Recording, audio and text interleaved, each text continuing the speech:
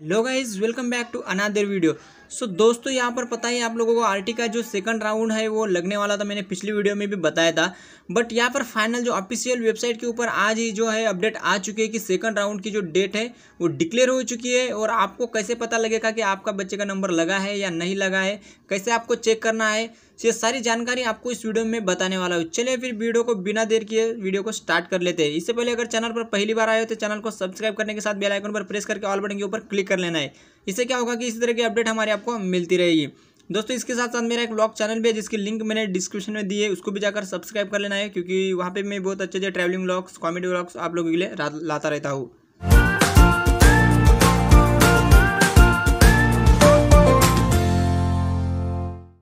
So finally दोस्तों, यहाँ पर आप देख सकते हो आरटी की ऑफिशियल वेबसाइट है। इसके ऊपर जो है, यहाँ पर न्यू नोटिस जो है, आ चुकी है सेकंड राउंड के बारे में। और यहाँ पर बताया गया है कि देखिए, पहला जो पॉइंट है, मैं सभी पॉइंट जो है आपको एक्सप्लेन करके यहाँ पर बताने वाला हूँ। सबसे पहले यहाँ पे पहला पॉइंट जो है, देखिए, प्रतीक्षा यादीतील बालकांच्या पालकांनी प्रवेश घेण्याची मुदत दिनांक एकोणावीस मे दोन हज़ार बावीस ते सत्तावीस मे दोन हज़ार बावीस अशी आहे। मतलब कि जो फ़र्स्ट राउंड लग चुका था और उसके बाद जो वेटिंग लिस्ट में जो स्टूडेंट थे, वो जो अभी मतलब कि अब यहाँ पे नीचे दिया हुआ है राउंड कब लगने वाला है बट उससे पहले यहाँ पे ये भी दिया हुआ है कि 19 मई से 27 मई तक ही आपको एडमिशन कंफर्म करना होगा, ठीक है?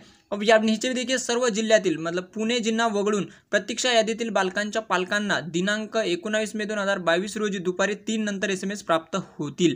मतलब कि यहाँ पर बताया जा रहा है कि सभी जिलों में जो है, खाली जो पुणे जिला है, वो छोड़ के जो है, जो वेटिंग लिस्ट में स्टूडेंट थे, उनको जो है यहाँ पर आज 19 में मतलब कि आज जो है दोपहर के बाद मतलब तीन बजे के बाद जो है एस एम एस यहाँ पर मिल जाएगा, जिसका भी नंबर मतलब कि लगा है या फिर लॉटरी में लॉटरी में जो सिलेक्ट हुए हैं स्टूडेंट उनको जो है फॉर्म जो भरते समय जो यहाँ पर नंबर दिया है, उन्होंने वह नंबर पर जो है एक एस एम एस आ जाएगा कि आपका बच्चे का जो है यहाँ पर नंबर लग चुका है कौन से स्कूल में या फिर ऐसी थोड़ी सी डिटेल्स वहाँ में आती है और जो है आपको पता चल जाता है कि आपके जो बच्चे का नंबर यहाँ पर लग चुका है।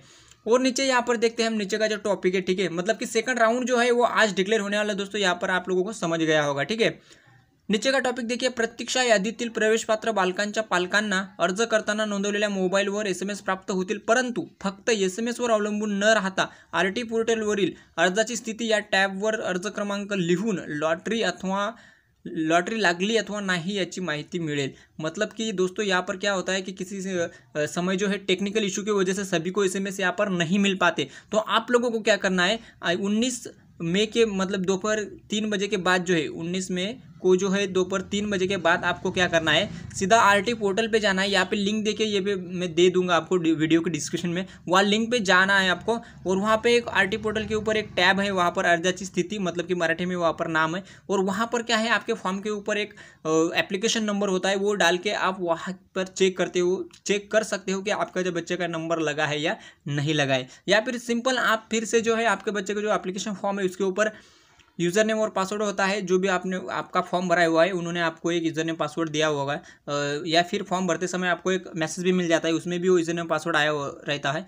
तो वो भी लॉगिन करके भी आप मतलब कि यह वेबसाइट के ऊपर आप लॉगिन करके भी चेक कर सकते हो कि आपका बच्चे का जो नंबर लगा है या नहीं लगा है। तो आपको खाली एसएमएस के ऊपर डिपेंड नहीं रहना है, दोस्तों। आपको सिंपल क्या करना है मतलब पोर्टल पर जाना है और वहाँ पर चेक कर लेना है ॲप्लिकेशन नंबर वहाँ पर एंटर करके, ठीक है?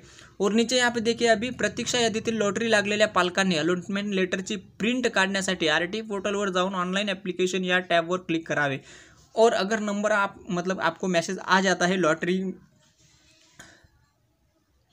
मतलब लॉटरी आपके बच्चे को जो है सिलेक्ट हो गया है तो आपको एस मिल गया है तो आपको सिंपल क्या करना है? फिर से लॉगिन के ऊपर जाना है और वहाँ पर एप्लीकेशन जो टैब है ऑनलाइन एप्लीकेशन उसके ऊपर जाना है। मतलब कि लॉगिन करना है और लॉगिन में जो है, आपको एक एडमिट कार्ड ऐसी टैब दिखेगी, उसके ऊपर क्लिक करके जो है, आपको एक अलॉटमेंट लेटर मिलेगा। मतलब कि उसके ऊपर लिखा होता लिखा होता है कि यह कॉन्ग्रेचुलेशन मतलब अभिनंदन, आपका जो बच्चे का नंबर है, ये स्कूल में लगा हुआ है और आपको जल्दी से जाकर जो है डॉक्यूमेंट वेरीफाई करके लाना है और स्कूल में वो सबमिट कर देना है। इस तरह की कुछ इन्फॉर्मेशन वहाँ पर अलॉटमेंट लेटर पे ऊपर होती है, वो आपको डाउनलोड कर लेना होता है।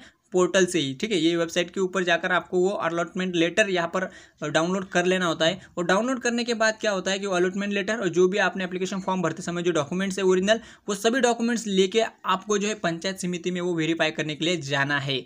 और वो भी उन्नीस मई से सत्ताईस मई के बीच में ही। और वेरीफाई करके ला जो है, जो भी स्कूल में मतलब वहाँ पर स्कूल का नाम भी होगा अलॉटमेंट लेटर में तो वो जो स्कूल में जाकर आप वेरीफाई करने के बाद वो डॉक्यूमेंट वापस स्कूल में जाके जमा कर देना है और इसके बाद आपका जो एडमिशन से बच्चे का वो फाइनल वहाँ पर हो जाता है। मतलब कन्फर्म वहाँ पर एडमिशन अभी हो जाएगा दो हज़ार के लिए। सो दोस्तों, यहाँ पर कुछ इस तरह से आपको जो है सारी प्रोसेस यहाँ पर कर लेना है। फिर भी अगर आपको कोई डाउट्स कन्फ्यूज़न होता है तो आप कमेंट करके अवश्य बताइए। आज का वीडियो कैसा लगा? अगर वीडियो पसंद आया तो वीडियो को लाइक कीजिए कमेंट कीजिए और अपने दोस्तों के साथ भी शेयर करना ना भूलिए क्योंकि उनको भी यहाँ पर पता चलना चाहिए कि जो सेकंड राउंड जो है वो यहाँ पर लग चुका है, ठीक है? तो चलिए फिर मिलेंगे ऐसे ही अपडेट के साथ नेक्स्ट वीडियो में, तब तक के लिए जय हिंद।